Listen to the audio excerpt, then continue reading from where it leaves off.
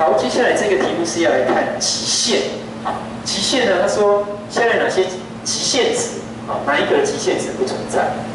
那我们这是单选题啊，所以这五个里面其实会有一个不存在，来看看到底是哪一个。好，来，第一个啊，这个长这个样子，我们知道说，当它 x 趋近无穷大的时候，我们就把这个 x 最高次除以它 x 最高次，那现在最高次就是二次，好，所以我们通常除以 x 二次，好，所以第一个通通除以 x 二次，再除以 x 二次剩下三，再除以 x 二次 x 二次分之一，再除以 x 二次 x 二次分之一，再除以 x 二次就一。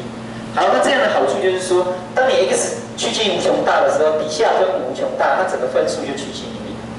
同样这边这也是趋近于零。好，那这个都是趋近于零，那它整个值就趋近于负一分之三，那答案就负三了。所以这个极限值它有存在。所以我们不能选这个，因为我们要选不存在。好，不存在。好，所以第二个我们再来看，那第二个也是一样，这个 x 也是趋近于无穷大。那两个都是无穷大的时候，我们就除以它这个无穷大的最高次。那这是 x 的一次，那这个根号 x 的二次其实也是 x 一次，所以你就直接除以 x 就好。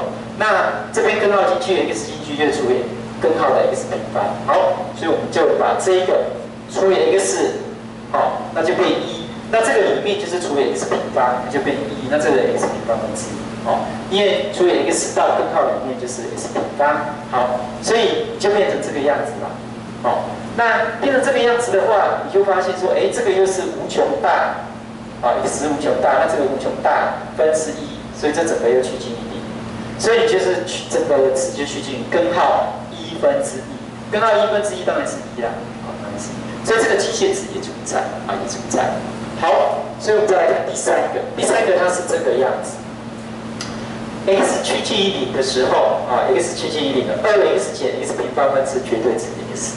那这个我们就有分成左极限跟右极限，啊，因为这个地方有绝对值，这里面出来要不要变号就看里面的正负。那你 x 就是跟零的关系，当然是 x 大于零跟 x 小于零。所以我们在这边其实看到左极限 x 是正的还是 x 是负的，在每一个都要做一次。好，那首先我们先来看，好，x 是正的的时候啊，x 是正的时候，那 x 如果是正的的时候，绝对值正的嘛，出来就照照就好，所以这个就变成 x 不动。好，那底下也不动，那接下来你就可以约分。啊，做约分，约分以后这上面就变一啦，就变成二减掉 x，啊，二减 x，好，那 x 趋近于零正，好，零正的时候还是很趋近于零，那现在已经没有绝对值了，所以这个直接变成零就没问题了，所以它整个值就是二分之，二分之，好，那如果是，这个算是右极限，哦，右方，那如果是左极限呢，就是 x 趋近于零负的时候呢，怎么样子呢？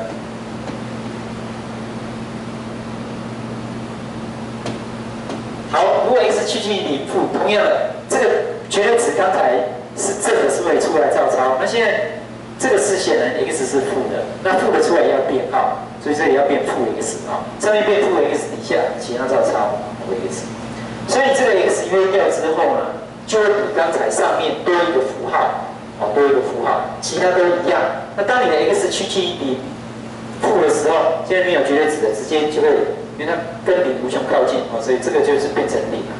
所以它的二减零分之负一，那那么就是负二，负的二分之一哦，负的二分之一。那一个正的，一个负的，它有没有相等？当然没有哦。所以这个我的答案就是选第三个，这个极限值啊，它左极限跟右极限不一样，所以它极限值就不存在啊。那如果是第四个啊，第四个。答案选三哦，那我们看第四个。第四个它这个啊，这个的极限值是多少？这个我们看一下啊，这个是这相乘哦，相乘可以。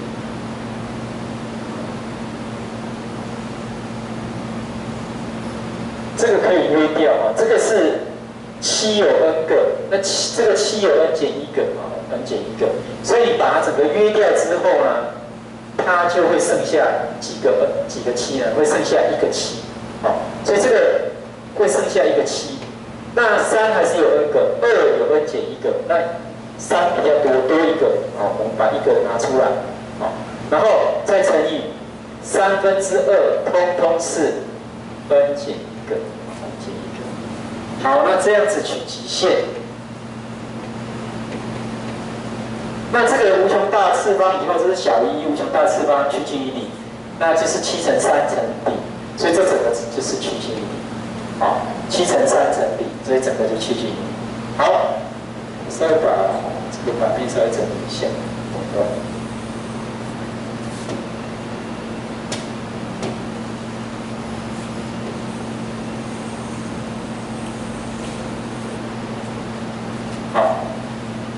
那最后剩下第五个啊，第五个这个，这个呢，啊，我们要看这个 n 也是趋近于无穷大，那我们还是要看谁。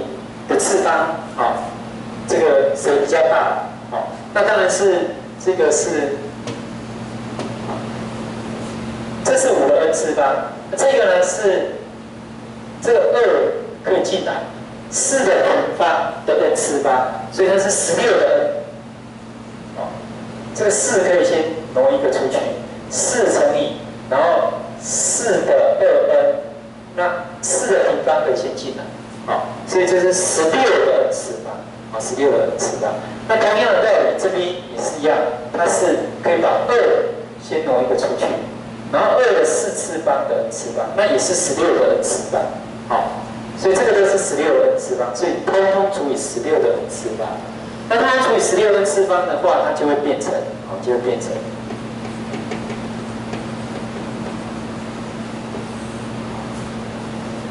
这个三。然后乘上这个五除以十六，好，那它的 n 次方，那这个是十六的，前面有个四，